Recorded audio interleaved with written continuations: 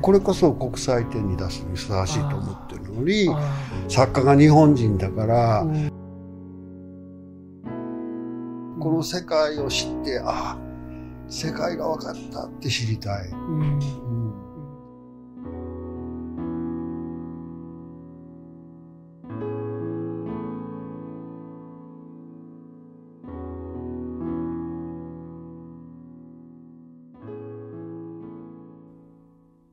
第1回目は川口達夫さんのアトリエにお伺いいたしまして、えー、これまで、えー、数々参加されていらっしゃる、えー、国際展についてですね、え思い出を語っていただきつつですね、え今回参加される上海ビエンナーレについてもお話を伺いたいと思います。それじゃあ今日はどうぞよろしくお願いします。はい。あの、まあ、川内さんは、あの、これまで長いキャリアの中で、えー、あの国内外でいろんな展覧会でご発表されていますけれども、はいおまあ、特に今回はあの早い時期に発表されたあの1973年のパリビエンナーレの話と、それから、えーと、1989年のあの第一の魔術展の話を中心に、はい、あの海外でのご参加のことを伺いしつつそれで今あのちょうどご出品されている、えー、上海ビエンナーレの作品のことについてもお話を伺えればと思いますので、はい、よろしくお願いします。はい神さんは、えっと、国際展という意味では、あの、1970年の東京ビエンヌーレが、はい、まあ、あの、言ってみれば、こう、国際的な文脈で、こう、発表された最初だったかもしれないんですけれども、はい、実際に海外に行かれるっていうのは、そこから、だから3年後になるんです。あの、これまでのパリ・ビエンナーレっていうのは、コミッショナーが各国にいて、はいはいはい、その各国のコミッショナーが決めた作家を出品作家に選ぶっていう方法だったんですけど、8回目の時は、えー、主催者から、まあ、コミッショナーっていうか、依頼するっていう、えー、形ではなくて、組織委員の1名っていうことで、日本で推薦する作家を、えー、推薦してもらって、はい、そしてその組織委員の人が集まって、最終的に作家を決めるっていう。つまり、あの、国が選んだっていう意識よりも、あの、世界が選んだっていう意識それをやろうとした展覧会だと思うんですね。はいはいはい、でも当時はパリビエンナーレっていうのはどっちかというとパリ青年ビエンナーレって言ってたくらいですから年齢的にも若いあのねはっきりと年齢制限があったんです、はい。はい、あのだからいわゆる青年でないとダメっていう、はい、だから私が参加した時も34歳ぐらいになってたかな、はいはい、海外っていうのはこれ初めてだったんですね、はい、でえー、日本を出発して海外行くっていう、そのそのこと自体も海外旅行も初めてでうん、で出した作品は2種類、はい、で一つはあの電流を流すっていう作品で、はい、であのいろんな金属を並べてそこでこう電流を流す、はい、で、もう一つはあの関係エネルギーって言って、電気エネルギーが光と動きと、と動きと熱ですね、その3種類が同じ電源からえー、電気のエネルギーが状態として分かれるっていう、うん、作品としては前の年に東京でも一度発表されていたけれども、はい、えー、実際そのパーツを、えー、パリまで運んでそのパリの新しい空間に合わせて、まああのまあなんていうかパリバージョンみたいな感じで展示された。はい。したがって、あの、はい、えー、日本では発表しなかった要素がすごく出てきて、うん、そうですよね。えはい。これ、えー、あの、うん、パリの写真がありますよね。ちょっと書いてますけれども、こういう写真の中で、えー、っと、確かにこれすごく大きい空間ですよね。そうですよね。天井の高さも結構ある風に見えますけれども、えー、その中で、えっ、と、まあ、光ったり、熱が出たりとか、その、パリでの新しい要素としてそのネオンを使ったということですよね。ええ、あの、はい、特にここですね、こことここなんですけど、うんうん、はい、あの、結局床の作品だから、はいはい、こう視線が全部床に行くんで、えー、空間を意識するっていうことができないんで、はい、どうしてもこう、ちょっと上を見てもらいたいっていうので、うん、ネオンサインを、うん、あの、えー、天井と壁の一角に、はい、L 字型。はいはいはい。で、それはネオン屋さんに作ってもらってます。えー、それは現地調達だったわけですね。ただ、あの、こういう感じの作品っていうのはやっぱり今までなかったから、はい、あの、関心がすごく高かったですね。あうん、だから実際にオープンして、やっぱり一個たくさん見に来てくれて、うんうん、あの、なんていうかな、この作品は善と関係あるかとか言われて、国際展に参加するっていうのは、日本の文化とか、まあ、前後含めて、わびさびとか、はい、あでも川口さんご自身としてはそういうことを特に意識しないで作ってはいたそこはどうなんですか？僕はむしろね、そういうものを超えてそうですよね、うん、だからそういうものを超えてできた作品がエネルギーだ、これだと思ってるのに、やっぱり善を禅とか、それから日本で紅葉を感じるとか、すっごいやっぱり戸惑ったわけ。はいはいはいはい。うん。あの、やっぱりヨーロッパの人って、すごいそういう目で、何でも日本人が作ったものは日本と関係がある。僕はすごいインターナショナルな、これこそ国際展に出すふさわしい作品だと思って出してるのに、禅と関係があるか。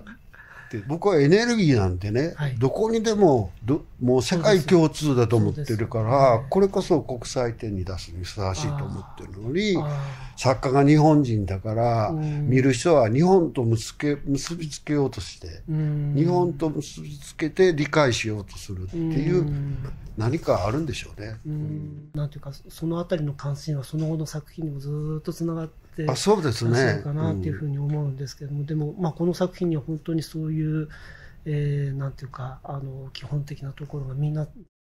詰まってるっていうかそうですよね、えー、そういう感じがいたしました。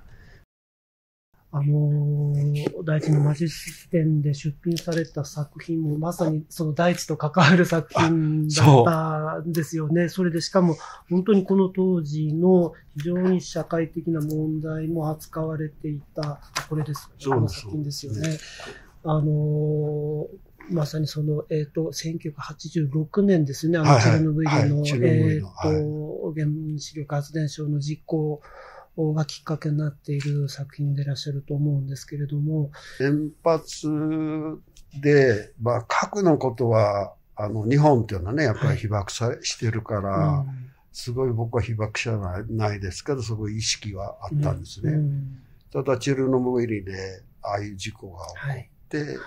核をいいように使ってたにもかかわらず、えー、大変なことが起こってしまった。うん、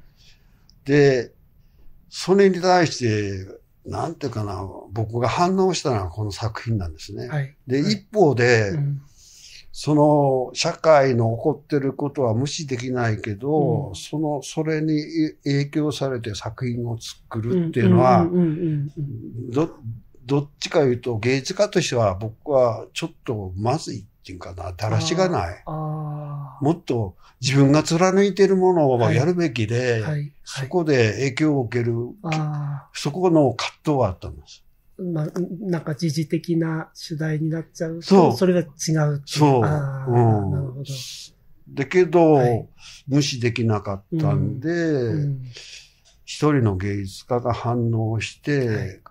あの、被爆しないように、植物の種子、最初はまあ食べるものばっかりで。あ、この壁の周りに、あの、あの展示してるやつですよね。はい。で、放射能を遮蔽するって言われてる鉛で覆うっていうのを発想して、はい、で、その種を育てるための水、はい、えー、空気、それから土っていうのをそれぞれ金属のパイプに封印するっていう仕事をしたんですね。はい、それはやっぱり、その、えー、っと、チェルノブイリのその放射能の問題みたいなのが、当時やっぱりヨーロッパ全体とでもすごく。ヨーロッパはもっと敏感そうですよね。うん、あの日本にいるよっぽどですよね。直接、あの、はい、食べたりしてるから。はい、はい、はい。えー、だから、ロシアの関係のものは食べるなとか、そういう噂が流れてるぐらいだったですね。そうなんですね。そういう中で、それが、なんていうか、こう、言ってみれば、えー、まあ、発想の出発点はそこかもしれないけど、やっぱりこの作品ってある普遍性があると思うんですけれども。うん、それと、やっぱり、来た人が、はい。すっごい分かってくれるんですね。ああ、はい、はい、はい。日本で発表した時、分かったか分からないかの顔をして、分かったふりして去っていくみたいなのが多いんだけど、ちゃんと話しかけてくるすっごい、あの、素晴らしいとか。あ。やっぱりそういうことを作品にするにあたって、すごい時間をかけて、こう作品を、作品じゃない、あの、物質を観察してらっしゃって、で、その観察からちょっと本当になんて言うんでしょう、思いがけないところまでいろいろ想像されてらっしゃるのが、毎回いつもすごく驚かされるんですよね。あの、そこが私は本当に、あの、毎回、あの、それこそびっくりさせられるところで。でも最終的にこの作品が、まあ、原といって、展示されて、はい、それで東京国立近代美術館のね、はい、あの、小谷さんが担当された個展で、やっぱり発表できて、えコレクションまで繋がったのはとても嬉しいですね。ええでもコレクションさせていただいた後に今度福島のことがあったり。そうなんですよ。だから、なんて言うんでしょう。あの、本当に、まあ、予言的じゃないですけれども、あの、やっぱり、あの、この時だけの問題じゃない、本当に普遍的な問題を扱ってらっしゃる作品だなっていうのが、やっぱり福島の事故があって、改めて考えさせられた。あれはでも、チェルノブイリだから、こう、対象として扱えたけど、はいえ。ー、日本で起こるとは思ってなかったからね。ああ、そうですね。はい、まあ、もともと僕は自分自身を表現するのに興味がないんですね。ああ、はい、はい。自己を表現するのは何の興味もなくて、はい、表現ってのはやっぱり人とも他人とも非常にこう関わる普遍的なものでなければいけないっていうのは僕の考えであるんで。だからそういう意味では時代の流れがあって、そこでまあ自己悲しいことなんだけど、そのことをきちっと捉えて、作品にしておきたいっていう、はい。はい、で、作品にできたっていうのは良かったかなと思いますけど。ヒエラルキーの転換じゃないですけれども、なんかそういうトピックがあって、今、これからじゃあどういうものが、こう、世界的なテーマとして設定されるかっていうのはちょっとまた考えていかなきゃいけない。まあ人間っていう動物が地球に住むにふさわしいかどうかまで問われる時代になってるから、うん。えーえー、他の生物とかね、はい、に比べて、えー、まあ、そこら辺も少し考えていかなきゃいけないかもしれないし、うん、そろそろでも持病がな。いやいやいや、うん、まだまだこう、あの、お展覧会ぜひ出してくださいっていうあのお話はひっきりなしに終わりだと思いますし、あのまさにその今回あの上海でもあのオファーがあって、そういう意味では あの第一の後今度宇宙っていうのはちょっと面白いなと思ったんですけれども、ねうん、えー、この、まあ、あの、まずはちょっと作品のことを教えていただきながら、まあ、あの、それと、まあ、あの、展覧会に、まあ、お誘いがあった、まあ、経緯みたいなのも含めてちょっとお話を伺えればと思います。はい、上海ビエンナーレってんですけど、はい。はい、僕はよく知らなかったんですけど、えー、14回も開いてるっていうことで、今回のテーマは、映画と、あ、宇宙と映画。はい。はい。うん。で、ちょっとなぜ宇宙と映画なのかっていうのがよくわからないんですけどね、はいえー、で、実際に僕は参加はしてるけど、えー、展覧会自体は見ていないので、はいはい、展覧会全体を捉えるっていうのはしてないんですけど、うんうん、ただ、あの、コミッションの方とか、やっぱりこうすごい調べて、はい、で、宇宙に関して、まあ、出してほしいので、コスモスっていう作品ともう一点みたいな作品を今回出してる。はい。でも今回のあの出品しているこの川口さんのコスモスの作品は、そのまあそういう宇宙空間的なこう隔たりだけじゃなくて、これなんていうか、時間も使われている作品じゃないですか。そこが本当に私は、あの、すごい、あの、想像力の、なんていうか、こう、うん、射程がものすごい作品だなと思っていて、えっと、これが、まあ、これ1973年か4年ぐらいの作品ですね。だから本当にその、パリビエンナーレからそんなに時間経ってない時期に作られてはいらっしゃると思うんですけれども、ねはい、この発想に至った、まあ、この頃のこともちょっと教えていただけたらと思うんですけど。あの、日常的なことがありますよね、うん、いろんな、はい、まあエネルギーもそうですし、うん、だからそういうものを一番こう超えたものっていうのは宇宙で、うん、だけど宇宙を対象にして自分がそこにいて、その星の光を見て1億年前の光を見るっていう。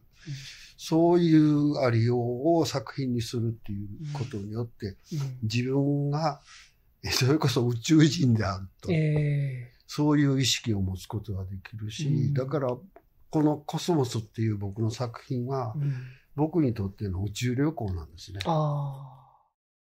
えっと、星の写真自体は、これは、えっと、天文台とかから、はい、あの、入手をされたんでしたか。はい、それで、あの、星の一つ一つに、あの、青い絵の具で、はい、えっと、年が、年が書いてあるんですよね。そうそう。えー、それで、えー、その年っていうのが実際、こう、えっと、地球からどれだけ離れているかの光年から逆算して、何年前の光だかっていうのが全部書いてあるんですよね。はい、そうです。ええー、あの、これ私本当にあの、初めて知った時に衝撃を受けました。うん、えー、一枚の平面の中に異なる時間が映っているっていうのがものすごい衝撃的で、はい、あの、私だから4次元写真だと思ったんです。よ。なるほど。